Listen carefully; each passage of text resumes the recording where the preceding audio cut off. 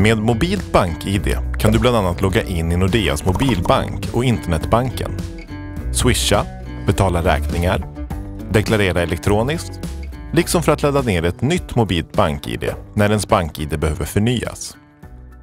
Du behöver börja med att ladda ner appen Mobilt BankID på din mobil eller surfplatta.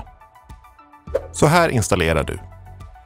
Logga in som vanligt i Nordeas internetbank. Välj fliken e-kod och använd din kortläsare och ditt kort. I vänstra menyn väljer du BankID, Nytt BankID. Klicka på Hämta mobilt BankID. Läs igenom text och villkor och klicka i rutan.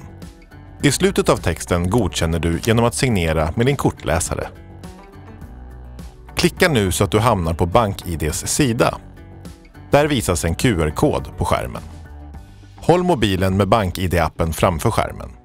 Klicka på ikonen för QR-kod i appen och rikta kamerabilden mot QR-koden. Välj nu en säkerhetskod på minst sex siffror och bekräfta säkerhetskoden igen. Nu är ditt mobila BankID aktiverat och klart att användas. BankID är en personlig e-legitimation jämförbar med till exempel pass och körkort.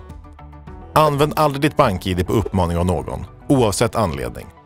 Lämna heller inte ut säkerhetskoden till någon annan.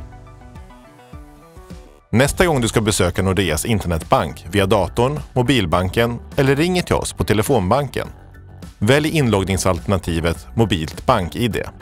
Öppna appen BankID på din mobil eller surfplatta. Logga in genom att ange din säkerhetskod och vips så är du inne i banken. Skaffa Mobilt BankID idag.